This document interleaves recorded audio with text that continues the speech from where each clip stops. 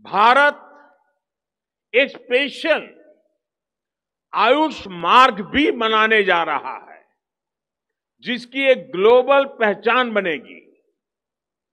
भारत में बने उच्चतम गुणवत्ता के आयुष प्रोडक्ट पर यह मार्क लगाया जाएगा। ये आयुष मार्क आधुनिक टेक्नोलॉजी के प्रावधानों से युक्त होगा।